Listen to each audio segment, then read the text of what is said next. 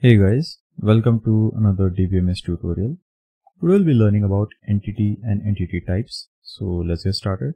First thing, what are we going to cover in today's tutorial? First, we'll look at what is an entity. Then we'll look at what is an entity type. Third, we'll look at what is an entity set. So let's get started. What is an entity? Entities are the real world objects or a thing in real world which have their independent existence. Alright. Now the independent existence can be either physical existence or conceptual existence. For example, let's say there is a student. Okay. Now student has its own independent existence, either her or his, but it is a physical existence. Whereas let's say there is a company on the internet. Now that company may not have a physical office, but it has a conceptual existence. So remember, an entity is a real world object that has its own independent existence, either physical existence or conceptual existence. Now that brings us to what is an entity type. So now you know what is an entity. What about entity type? Okay. So usually a database contains a group of entities that are similar. Let's say for example, company has lots of employees and the employee information is usually similar. So if a company wants to store all the information, it is usually the similar information that the company has to store related to those employees. Okay. Now these employee entities share the same attributes, but each entity has its own value. Okay. So every entity will have its own attribute values, but essentially the attributes are same. Okay. So an entity type defines a collection or a set of entities that have the same attributes okay? And each entity type in the database is described by its name and its attribute. Let's say we have an example over here. There is a company. In this company we have got different different employees. Okay? So his name is raju. His age is 25 his salary is 25000 all right her name is ariel. Her age is 28 her salary is 29000 his name is jeet. His age is 24 and his salary is around 22000 so all these people they have got these respective attributes okay? But they are the common attributes. As you can see each employee will have a name each employee will have age and each employee will have a salary. So they are essentially having some common attributes. Hence they can be categorized into one type. That is an entity type employee okay? So this is what you mean by an entity type. Now what about entity set?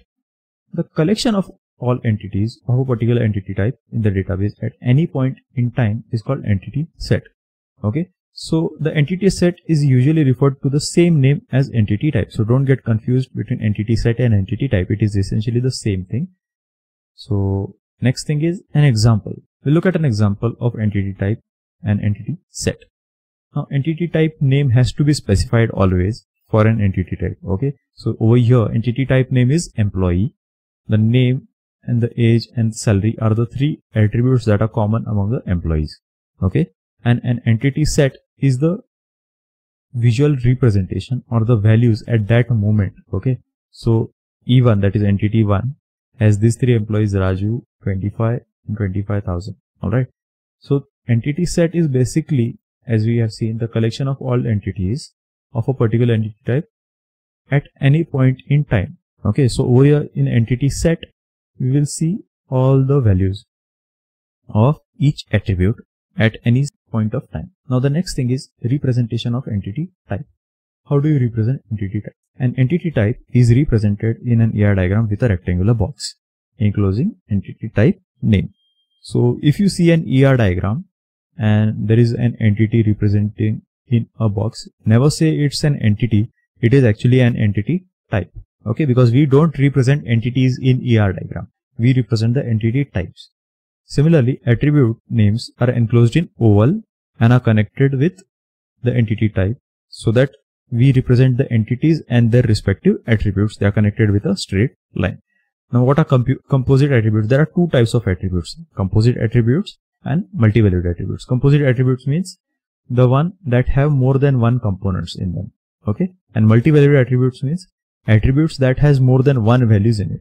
Alright, so we'll look at an example and we'll see how these different different attributes are represented in an ER diagram. So let's say over here, so first we are representing an entity type car with a rectangle and we are writing the entity type name car in it. Alright. Then we have got our attributes vehicle ID, then registration, year and color. Now as you can see over here, vehicle ID is a unique attribute. Alright, so every vehicle will have a unique attribute. Similarly, the registration number is also unique. Hence what we do in the in terms of representation, vehicle ID is underlined because it's a unique key attribute. Similarly, registration is also a key attribute, but since it is a composite attribute. Now what you mean by composite attributes? The registration number is made up of two things, the state and the number. Hence, it is again divided and the extra two attributes are shown connected to this attribute. And what about multi-valued attributes? Let's say a car has more than one color. So hence we represent a multi-valued attribute in double oval that is oval enclosed in an oval. Alright. So this is the representation of entity type. Now what about key attributes in entity type? A key attribute is basically an attribute that can be used to differentiate between different different entities. Alright. An important constraint of entities of entity type is uniqueness constraints or the key of the attributes. Alright. So every attribute that can help us uniquely identify that entity is called an key attribute. Let that be a single value attribute or let that be a composite attribute. So remember, there are two types of attributes.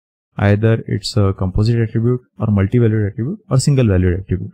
So either it can be a single valued key attribute or composite attribute or it can be a multi-valued attribute also. So this is the meaning of key attribute. It helps you in recognizing an entity or differentiating one entity from the other. So its value is unique. So essentially this is what entity and entity types are. If you have any doubt, any queries, feel free to ask them in the comment section below. Thank you very much. So that's it for today guys. Thank you very much for watching. If you have any queries, feel free to ask them in the comment section below. If you have any suggestions, please write them in the comment section below. If you like the video, please share it with your friends and subscribe to my channel. Thank you very much.